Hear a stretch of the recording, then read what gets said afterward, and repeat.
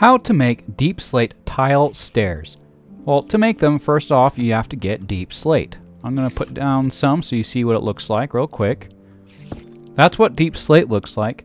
If you want to get it, you have to go mining down towards bedrock, and then you will find them in different chunks here and there. When you mine it, you get just regular cobbled deep slate. Now, I believe I have my stone cutter over here somewhere. No, I don't. Okay, let me just get one. Place down our stone cutter right now. Also on a crafting table.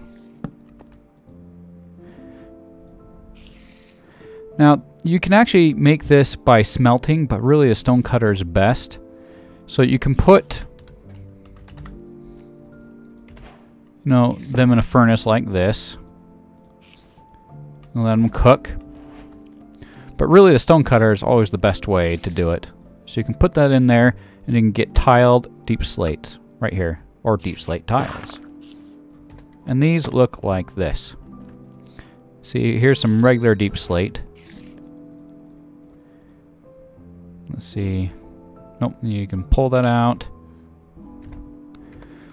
But now if you just want to make the polished deep slate, you actually take a cobbled deep slate. We still have it.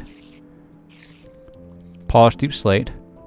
Put those in four again. Deep slate bricks. Put those in four again. Deep slate tiles.